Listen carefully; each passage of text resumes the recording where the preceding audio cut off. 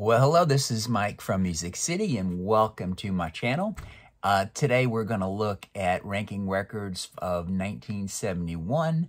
Uh, been going up and down the calendar, and uh, gosh, I was, how old was I in 1971? 15 years old, and really, uh, really, God, what a what an amazing year for music. I mean, I just can't believe the albums that I'm going to leave out of my top ten. And and and again, a, a, lot of this has to do with style and what I like. Yeah, I'm I'm primarily a rock guy. I don't dip too much into heavy metal or progressive rock, soul, R and B. I mean, you know, so you know, let's get that let's get that out of the way now. And and there's going to be a couple you're going to give me a hard time for not including on this, but this this was really hard, and I, I feel really good about the choices. But let me let me start off. You know, there's two records from 1971 that so many people just rave about and put at the top of your list, and you know, they were not records I listened to much uh, back in the day. They didn't get a lot of airplay on progressive radio that I listened to, which is WNEW FM in New York. I, I, I since got both of these albums. I love both of these albums. I went back and I listened to them several times prior to doing this. And, and I'm sorry, they just don't make my top 10. Uh, and again, not not to dis disparage these albums. They're great records. and But I want to mention those two because you're going to see them a lot on like number one on a lot of people's lists. And that's Marvin Gaye's What's Going On and uh, Joni Mitchell's Blue. And uh, we're getting some reflection there. There we go. No, we'll get rid of the reflection. Um, so uh, again, I love those records. Just, just they're not going to make my top ten. Now, here, here's some of the other ones I considered um, uh, that I liked that year. Badfinger Straight Up got it autographed by Joey Molland too. Uh, T Rex's first album. Uh, not, not, excuse me, not their first album, T-Rex's Electronic Warrior. Uh, you, you know, I had Slider in the next year, which I liked a lot better, but God, had Jeepster on there and um, Bang a Gong uh, Janis Joplin's Pearl, Van Morrison's Tupelo Honey, Rod Stewart's Every Picture Tells a Story, Moody Blues, Every Boy Deserves, Good Boy Deserves Favor, and Paul McCartney's Ram. This is the one that people I know are going to give me a lot of hard time with.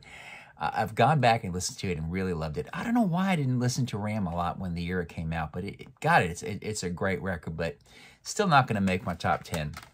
Now, uh, two that you're not going to see on here, you're going to give me a hard time. I didn't pick Hunky Dory, uh, and I didn't pick Led Zeppelin 4.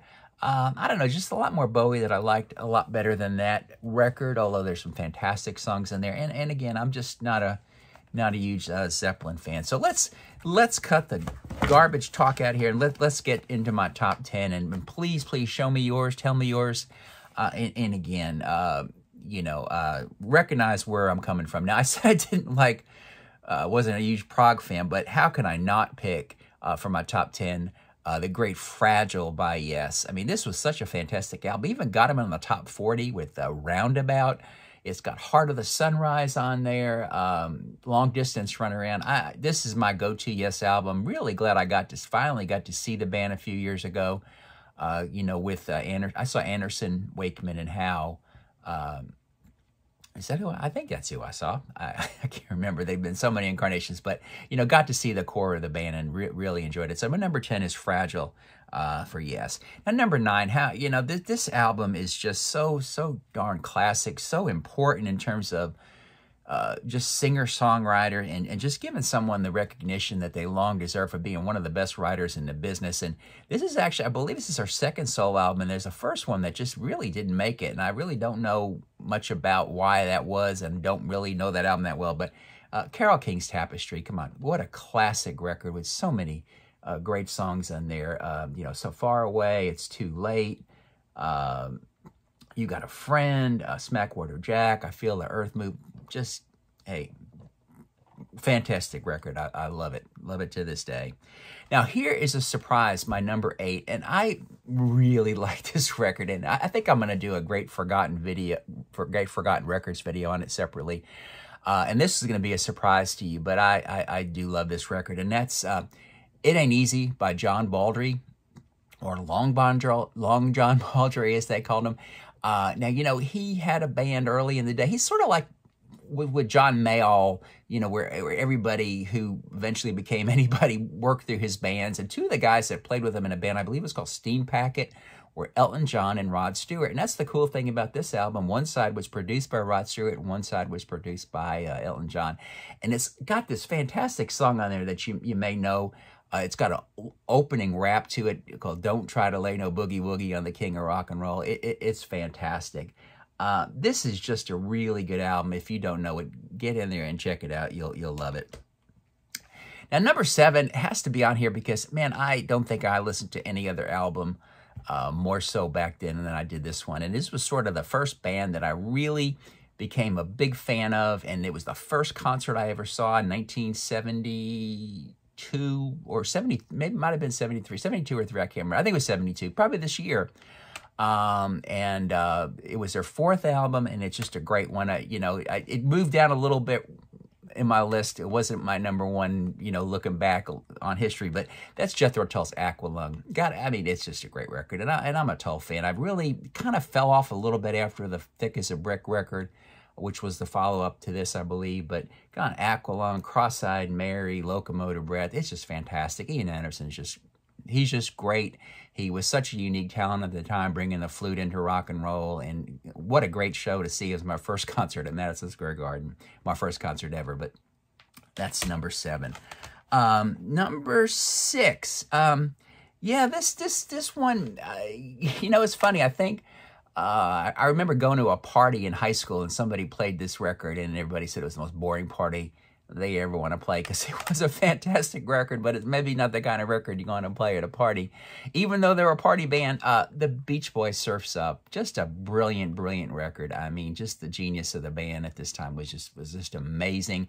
It's a mellower record than, than you know, and having you know than than you've than they've had in the past. Not a lot of songs about surfing and all that stuff, even though it's called Surfs Up uh, not a lot of car songs, I guess is what I, I should have said. But I, I love Surfs Up. What a classic record. And uh, nice to get the, the recent reissue of that with some bonus tracks and some live performances around the day. But uh, that's number six.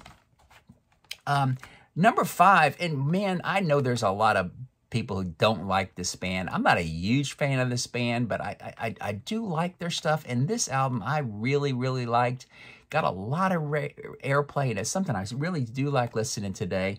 Uh, and, and and that's L.A. Woman by the Doors. Uh, man, I just love um, uh, um, the the. the I'm embarrassed here.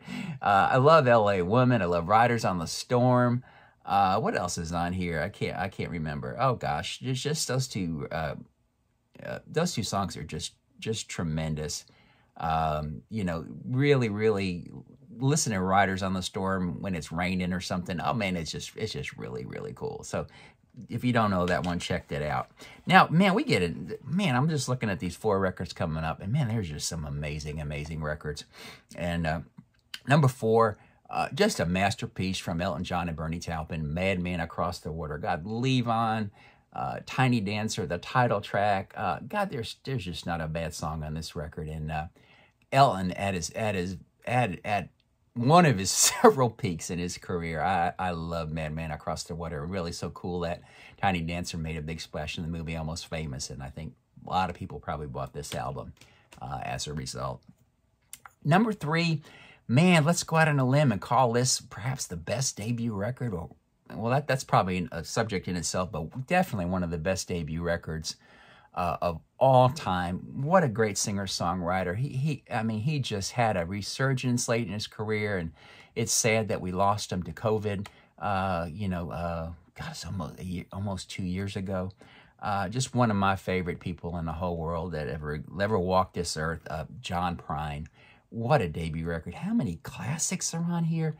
Illegal Smile, Hello in There, Sam Stone, Paradise, Angel from Montgomery. Oh my God, what a record. And um, I just love you, John. We miss you. Um, your family's doing a great job on carrying the flame. And there was supposed to be a tribute, some tribute concerts later this year, or in a few weeks, a few months ago here in Nashville. They're going to be rescheduled to next year. Looking forward to seeing that. We miss you, John. We love you. What a fantastic record. All right, now number one and number two. Oh my gosh. I mean, you know, if we want to talk about rock bands and classic rock bands, of course, these are the two of the best bands ever, and uh, they just put out, you know, masterpieces. Um, and uh, I, you know, it, it's well, I guess it, I'm thinking I, I, I, had a I had a fix on which one I wanted number one or number two, but number two, uh, Who's Next by the Who, and here's the deluxe edition. Oh my gosh, what a classic record! We know we know all the songs. Baba O'Riley. The song is over. I love, but won't get fooled again. It's just an amazing, amazing, amazing record. Also, one of the coolest album covers ever. But number two, The Who. Who's next? Number one, you've been waiting, keeping score, and didn't we? Didn't we just pick this band for uh, the number one record for 1972 or three? I'm I'm forgetting. I should have looked back. I can't remember, but gosh, what a great record! Sticky Fingers, Rolling Stones, also probably one of the greatest album covers ever. I got my zipper cover down there and I keep it separated so it doesn't scratch the record next to it. But I mean, it is just fantastic. Um, I uh, also last year went, and I think I've got it on my, my blog, went down and visited the Muscle Shoals um, recording studio where they recorded three songs off of this record. I even got to go into the same bathroom where Keith Richards finished writing the lyrics of Wild Horses, of course, and they also had all recorded You Gotta Move and Brown Sugar there. But Brown Sugar, uh, it's got my, I think my favorite Rolling Stone song is on here, which is uh, Dead Flowers. Uh, you got Bitch. Oh gosh, uh, I love Moonlight Mile. What a, what a trippy, fantastic song. But yep, that's my favorite record of 1971. So hey, I hope you liked it. I'm trying to cut this and keep this short. I don't know how much more further we're going to go in the years because as I as I as I guess as I get up, I stop. You know, maybe my breath of music listening kind of slowed down a little bit, and and and as I go down, I'm getting younger and it's more revisionist. But these were records that I did listen to back in the day, and I still love today.